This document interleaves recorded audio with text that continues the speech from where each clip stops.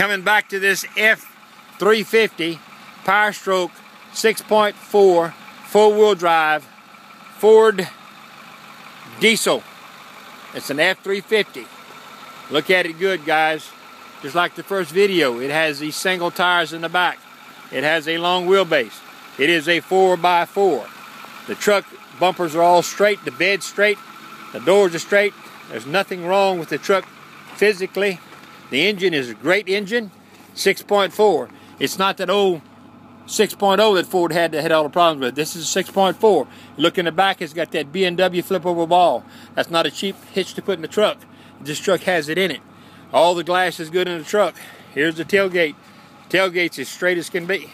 rear bumper, look at it good. It's a good truck, guys. Buy it here on AuctionTime.